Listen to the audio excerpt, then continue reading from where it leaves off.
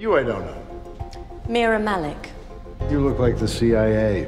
Oh yeah, what's the CIA look like? Attractive, but treacherous. I guess we'll find out. Nearly a decade into its run, The Blacklist is going all the way back to the beginning. TV Line has learned exclusively that Season 10 will introduce a character named Siya Malick, an MI6 intelligence officer who is also the daughter of late Season 1 character Meera Malick, played by Parminder Nagra. Meera was a CIA agent and OG member of Raymond Reddington's Special Task Force. She was killed by an assassin in the Season 1 finale, and according to our intel, Siya will show up looking for answers about her mother's work and death. Meera was a casualty in a war she didn't even know she was fighting.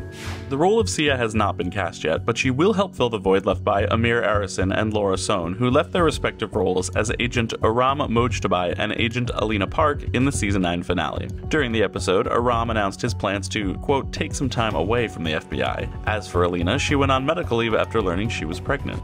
NBC declined to comment for this story. The Blacklist will return for season 10 at mid season. Head to TVLine.com for more and let us know your season 10 predictions in the comments. For TVLine.com, I'm Andy Swift.